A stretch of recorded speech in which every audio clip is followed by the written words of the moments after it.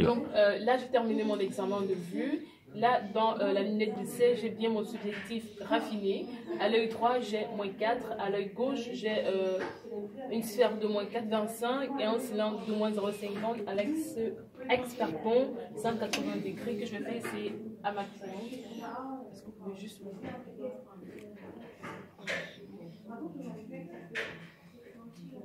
Oui. Donc, je vais présenter toutes les lignes des acuités. Et madame, je vais vous demander quelles sont les plus petites lettres pour parvenir à lire? Alors, E, V, D, T, D, Oui.